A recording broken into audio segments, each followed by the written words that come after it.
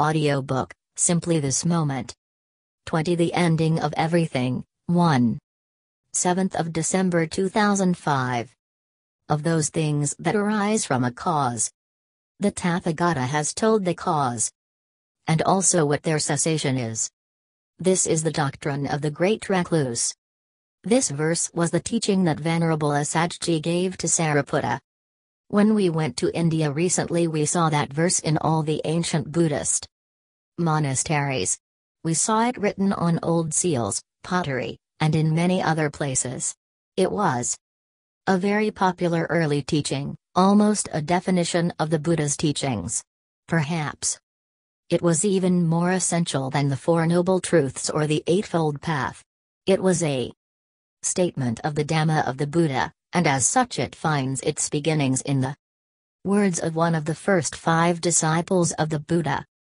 Before he became a disciple of the Buddha, Sariputta saw a monk with such serene features that he wanted to ask who the monk's teacher was and what were his teachings. So he approached Venerable Assaji. That verse was the answer. Assaji gave to Sariputta, those words were so powerful that straightaway Sariputta, with his great mind, was able to penetrate them and become a stream winner. The subject matter of this evening's talk is the question What does Yidama? Hedapabhavatesam hedam tathagato aha really mean? The Buddha taught the cause of all things, the way they originate, and also their ceasing. As a result of that Sariputta attained the insight of all stream winners, Yam. Kinsi samudayadamam sabam tam nirodadamanti, whatever has the nature to arise, all that has the nature to cease. What does that actually mean? The reason I am talking about this now is because in some of the discussions I had on my tour of the United States there was much talk about such things. As many of you will know, the Christians in the United States have been forcing the issue of what they call intelligent design, wanting to explain the origin of this universe as God caused. Because they are running the debate in the US and they have a huge influence there. They are deceiving many people. Because of that, as a Buddhist monk traveling in that country, I was often asked about the Buddha's response to this and in particular, people wanted to know the Buddhist view with regard to the origins of the world. Christians are often very materialistically minded, only seeing nature as basically the four elements. The result of that is to not really understand or include the nature of the mind. So, often the debate is just on material things. But I'm going to extend it beyond that, into the mind into the nature of the mind. As a physicist before I became a monk, the one thing that I do know is that the nature of form, what we call the four elements, is that it is empty of everything. As many of you would know, the mat that you sit on is not solid, it is made up of atoms and 99.9999% space, it's mostly empty. And if you could look inside that atom, you would see that it is just this smear of potential places where electrons can be found. It is basically empty, there is just a tiny speck in the middle called a nucleus. When you look into that nucleus, you find that it is full of holes as well. Basically, there is nothing there except fields of energy. There is nothing really solid, just the emptiness of phenomena. Scientists would agree with that straight away. The reason I bring this up is because when people talk about the creation of the material universe, they usually say, How on earth can you create something out of nothing? It's a valid point, because in fact you can't create something out of nothing. That's why people think there has to be some sort of creator, a of God figure, to make that irrational jump from nothing into something.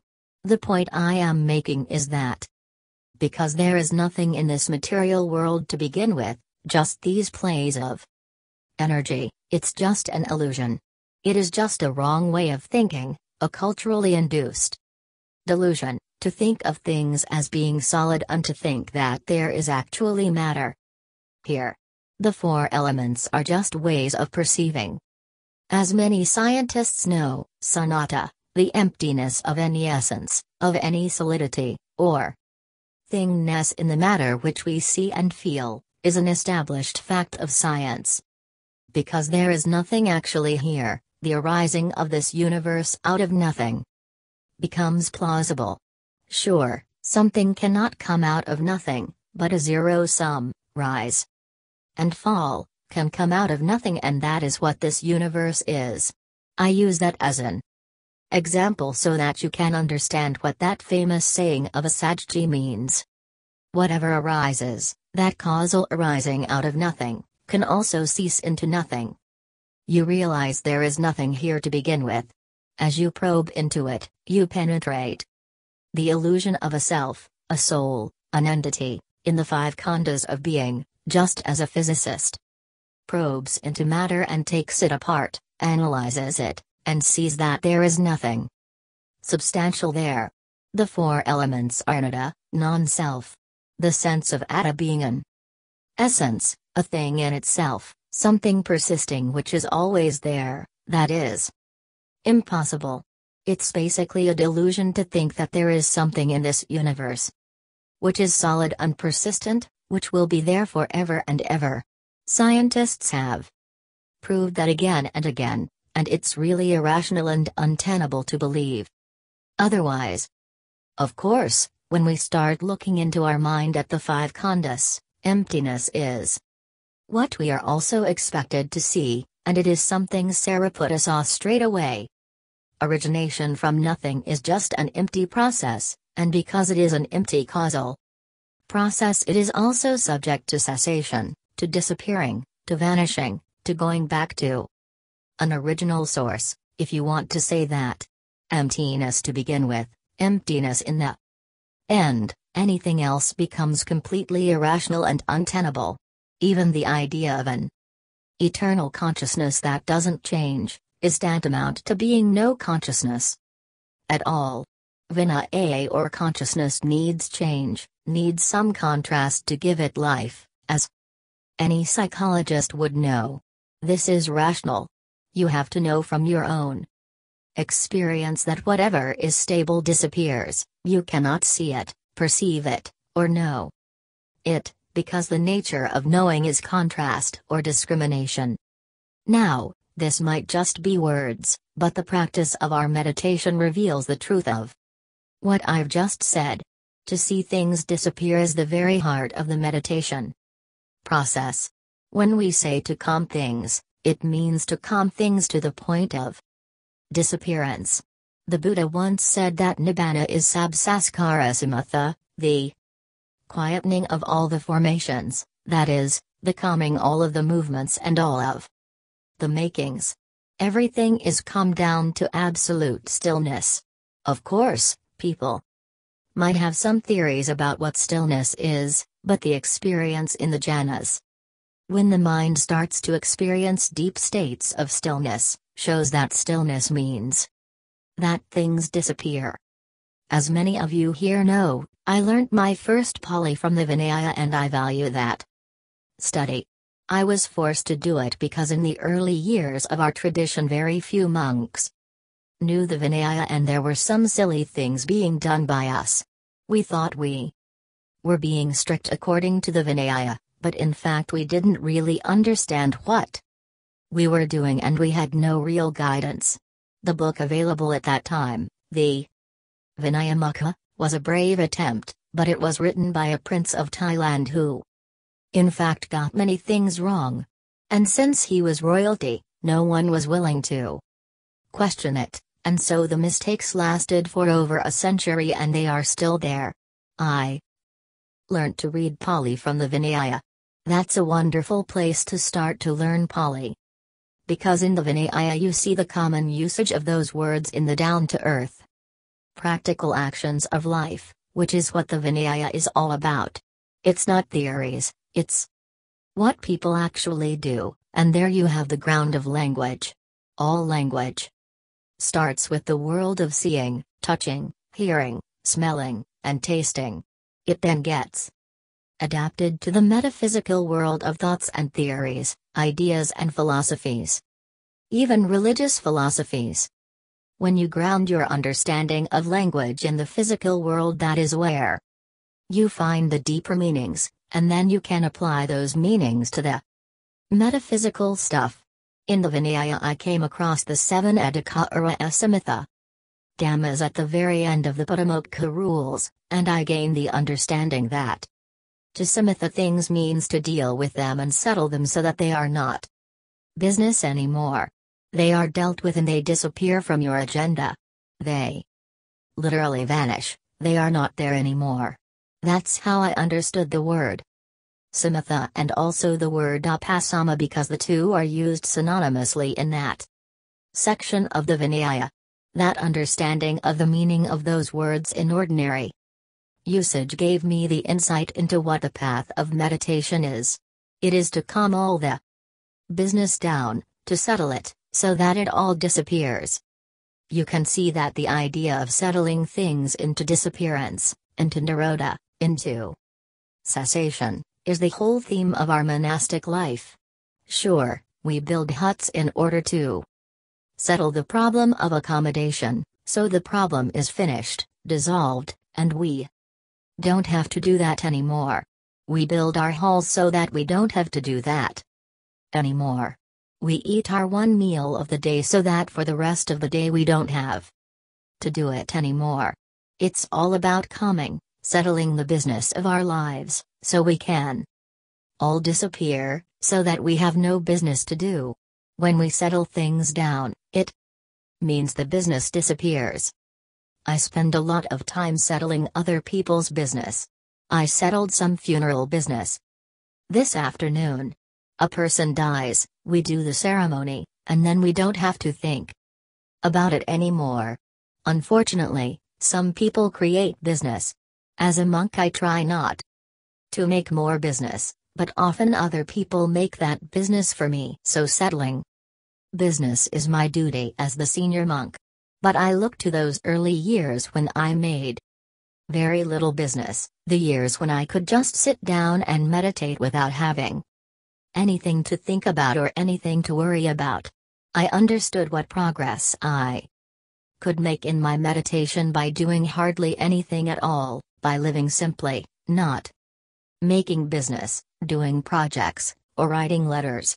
I even neglected my family. The first time I visited them was after seven years as a monk. I didn't write to my friends. Except maybe once a year at Christmas. Simplifying my life meant I was samathayan, calming, lessening, and quelling all the business of my life. I understood that the path of being a monk was that of a renunciant, living outside of the world, not worrying about what other people think of you, not even your family. That's not what should run your life as a monk. What runs your life as a monk is something else, it is the ability to leave the world and not engage in it, not to make your life more complicated but to simplify it. This is one of the things that I stress to each one of you. If you live in this monastery, your life is only as complicated as you make it. And your success in meditation will be inversely proportional to your complexity.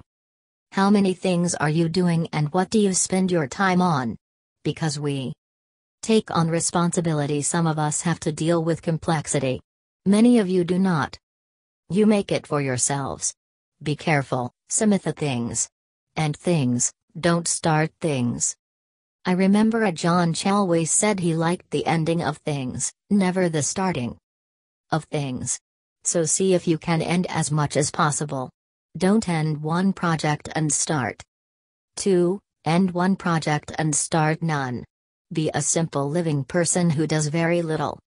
The only project that you have to do is to come out in the morning, do your chores, eat, and then go back to your hut and literally end things. That is the path of being a monk. When you find that path and you practice this idea of samithaing things, quelling things, renouncing things, you find that things disappear. You are experiencing a vanishing in your life a vanishing of concerns for the world. Often people are too concerned with their families. That is an attachment, an obstacle. It's okay to look after your families to some extent, but in your early years, try to move away as much as possible, to cut them off, in other words, you say no for a while. I have done that for many years, and it's wonderful to be free of my family. Even when I visited them, there was no attachment for my mother, or my brother, or anybody else. If they die tomorrow, my faculties will not change. If they died right now, I would never be sad. This is detachment. And it is wonderful to be able to see that in a person. When I went to visit them recently, I was at ease with these things. They have lived good lives, but they are going to die one day. So, there is a quelling and calming of the business of your family duties. There is a quelling of the other things you want to achieve in life. What do you want to achieve but calm, peace, emptiness, stillness, and things disappearing, because if the objects of your mind don't disappear, you won't disappear. You are what you do. You are your projects. That is what makes this idea of a self and gives rise to more samsara, more wanderings, again and again and again. If you want that, you are just asking for dukkha, again and again and again. As the great Arahant said, it's only dukkha arising and dukkha passing away, nothing more than that. Don't add more to what the great Arahant said, because that's all there is, dukkha arising and dukkha passing away, nothing more. See if you can allow dukkha to finish once and for all, so that there is nothing left, uparisasa nibbana, nibbana with nothing remaining. I am just quoting the suttas here, they are the final reference of our tradition. We understand this because the more we follow the teaching of calming things down, of simplifying, the more things vanish and the more peace and happiness we experience. There is a beautiful quote from the Jataka tales that, although it is found nowhere else in the suttas, fits in so well with what the Buddha said elsewhere, as well as fitting one's experience. The Buddha said that the more you abandon the five senses, the more you experience sukha, happiness. If you want to have complete sukha, ekanta sukha, you have to abandon the five senses completely. What the Buddha is saying here is not just about subduing the senses when you sit cross legged, it's actually about letting go of the these things at all times in your life, disengaging from the world of sights, sounds, smells, tastes, and touches. What other people say is only sound, that's all. No need to argue with it, no need to get involved in it, no need to think, that's a nice sound. The correct Dhamma is that it's just sound and that's all. Please let it go, don't involve yourself with that world. Don't involve yourself with the world of tastes, beautiful coffee or tea, too hot or too sweet, nice food or not. So nice food. It's just a lot of suffering. What's the point of trying to find the nicest food? It just leads to a lot of suffering. You put it in your mouth and eat it, gobble it down. If you have a choice, that's fine. But if you haven't any choice, just eat what you've got. It's only a couple of seconds of taste and then it's all gone. What's the big thing about desiring food? The desire for food lasts for such a long time before you eat it, but the actual experience is just a few minutes, and then it's all gone. It's all just delusion make believe, and anticipation, that's all desire for food really is. It is the same with the coffee. Afterwards, in fact, you do not really taste the coffee anyway, you are all talking to each other. So, what's the point? You could have rubbish coffee and you wouldn't. No. You're not mindful of what you are drinking. The point of all this is that we should try to abandon this sensory world. Even the Jokes and all that talking is just sound, that's all.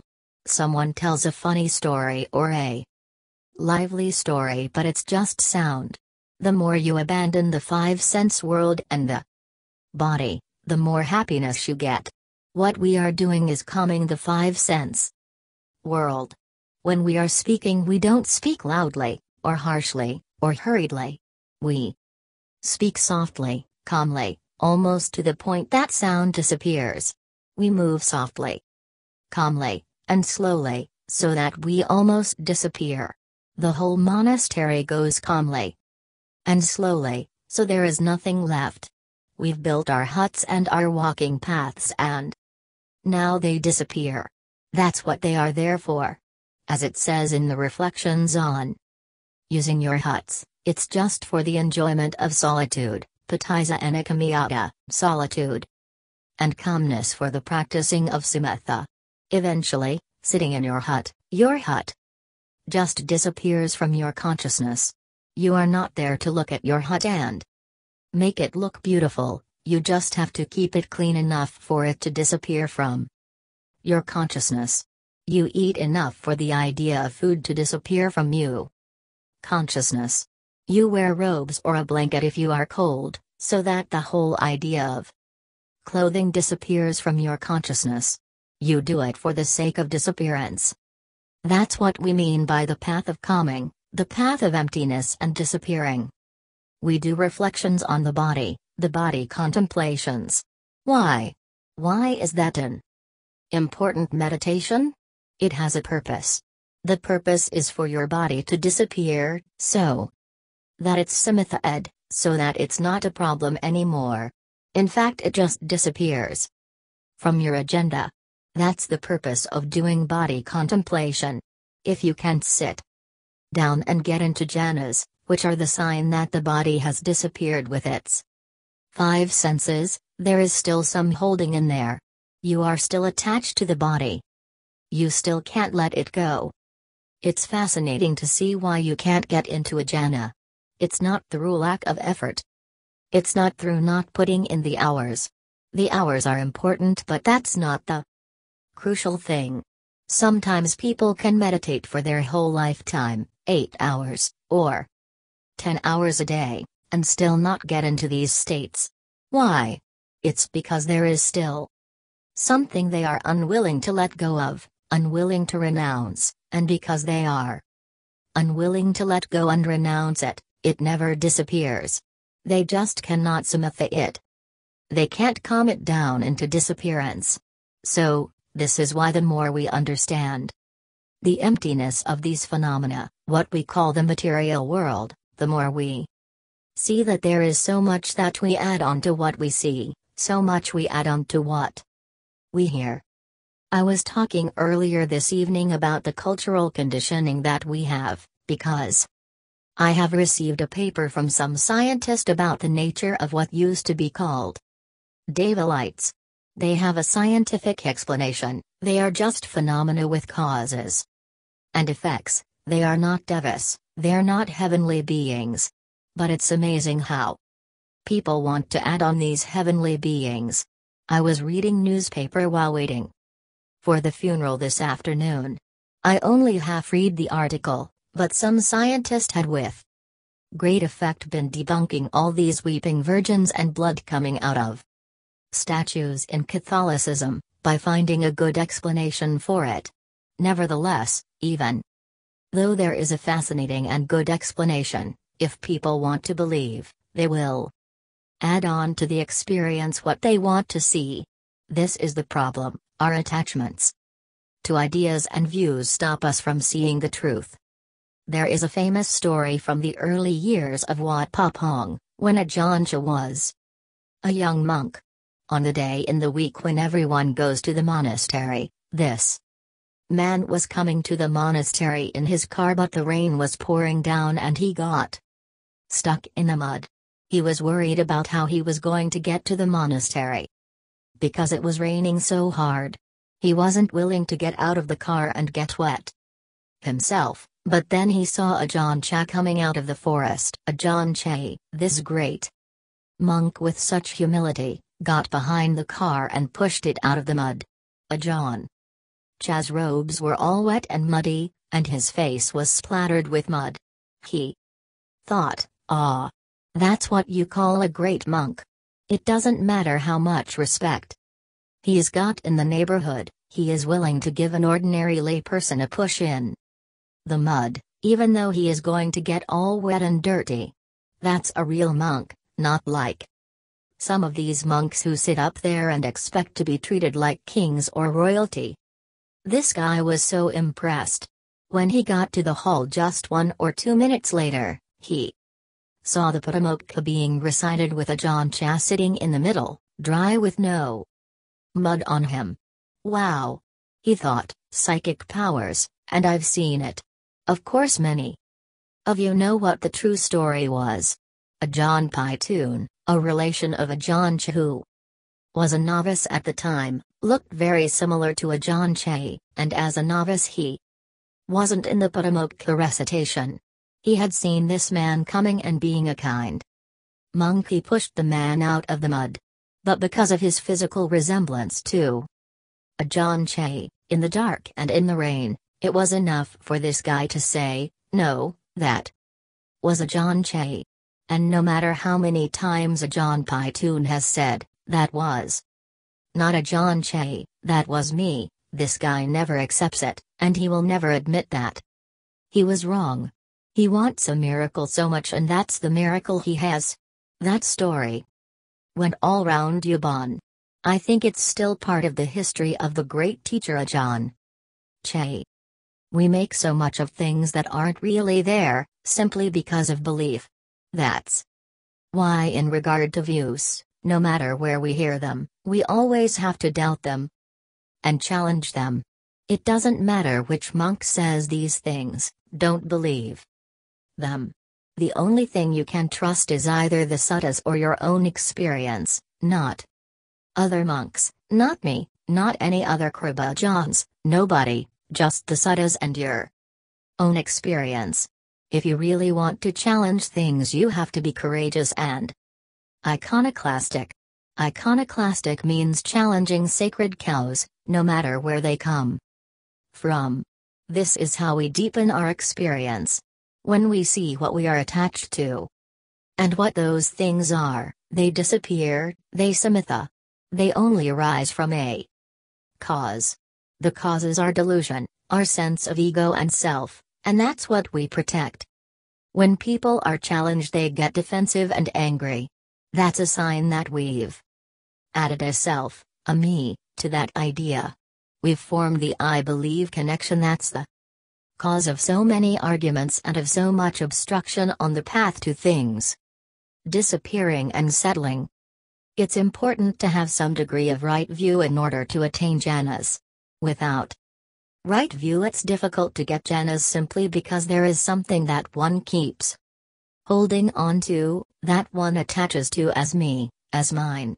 Because of that, one is unwilling to abandon and let go to the point of entering jhanas. A lot of times the attachment comes from wrong view, there is an I in there somewhere, a self, a me, holding onto something. I've explained before that attachment is like a hand. The hand has two ends to it, the end which grasps and the end which initiates the grasping. One of the greatest insights that helped me on the path was not to look at the end that grasps, but to look at the end that initiates the grasping.